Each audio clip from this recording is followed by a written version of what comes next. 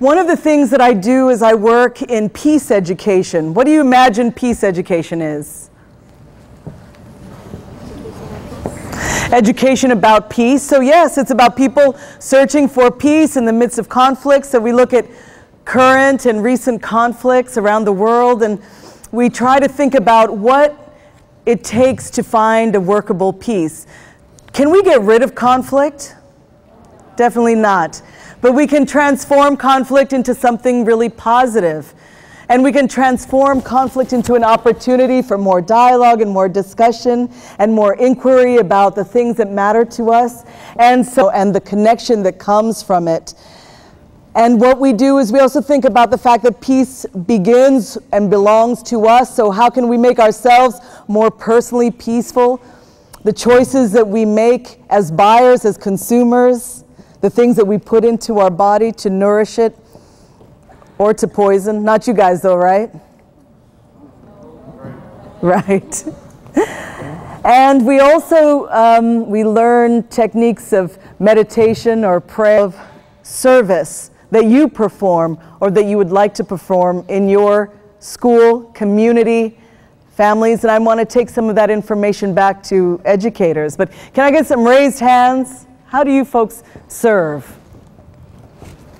I know you do, and you'd be surprised at things that constitute service. Yes. Babysit. You babysit. You help to raise, care about them, and are going to build supports around them and who want to see them succeed. So, what is some other way that you serve? Yes. You help your kupuna, your elderly. You uh, show them care and respect. You listen to their stories. You learn. I uh, donate canned food to my local uh, church uh, Food for the Poor Drive.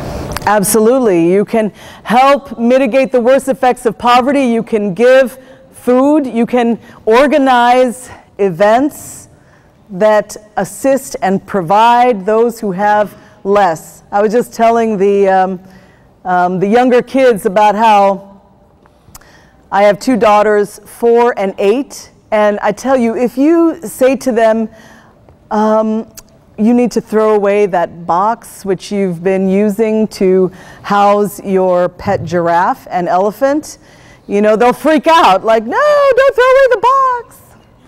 But I tell them because they have a hard time you know, getting rid of stuff. I recommend that you spend some time, investigate the possibilities, go to Malama Maunalua, and you can do the digging up of invasive species, or Ho'oulu Aina, where you can go to community days, you and your families, your schools, your friends, um, several times a month to plant, to harvest, and to learn. You can go and uh, check out the fish ponds, He'eia and Kaneohe fish ponds, and learn about ancient methods for fishing that are non-destructive. You learn culture, but you also help by building a rock wall.